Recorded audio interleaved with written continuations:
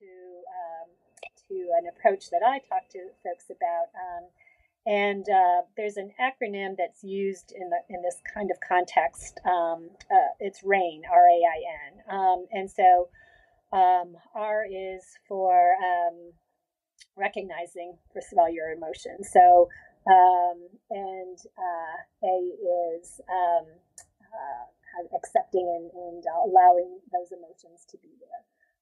So, I is for inspecting and investigating. So, kind of this sense of uh, this idea of uh, um, I'm feeling really sad. What's this about? What's bringing this on?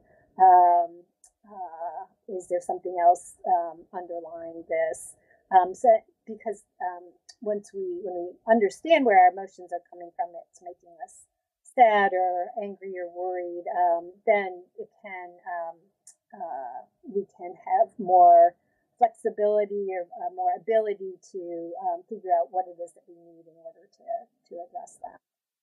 Well, and, and I think I've heard it said too, and I think I've heard this acronym before. So before we get to N, um, while we're talking about inspecting and investigating, like sometimes just the sheer act of asking your brain the question, why am I feeling this way?